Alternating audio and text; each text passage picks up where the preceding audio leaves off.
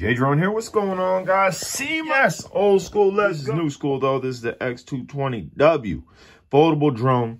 Have a little look at the features down here. We have optical flow position. On the underside of it, that little eye, that will be your optical flow center. And you can see there is a spot for an SD card. You can see the little symbol right there. So hopefully that is active.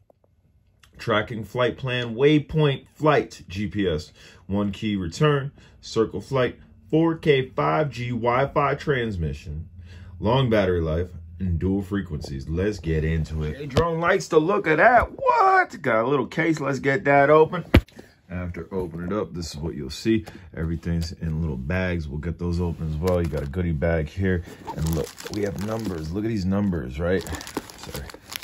Numbers on the bag for customer service, which I was going to note on the box. That is huge because in the past, try to get a hold of drone companies, a little bit difficult unless you had them on right, Facebook. So that's everything unbagged. They had nice little bags over them. The drone itself, so I, I'm familiar with this type and style of drone, little foldable plastic drone. It actually has some weight to it. Um, it actually has some weight to it. A lot of the ones that I've seen have been super lightweight and they are just what they are. So maybe, maybe we got some good guts in this. Maybe we got some good guts in this. Something I am excited to see. Look at the battery lithium ion. We're starting to see a lot of lithium ion batteries instead of uh, light bulb controller. Look at the controller, the arms, boom, boom, they tuck under, that folds down. And we do need to use some batteries in here. I believe they are AAA.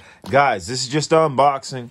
Again, I have this bag out. There's customer service. That is huge huge, especially for a well-established Syma toy company to be able to just reach out, go to your box, go to the bag. To show you inside that top pouch, those two, two Syma bags, you'll have prop guards, your charger, and a little accessory tool. Give them a call. Stay tuned to the channel. We'll get this in the air. If you haven't subscribed, smash the subscribe button. Questions, comments, concerns. Get on your keyboard, type, hit return, put it down below. I get at you.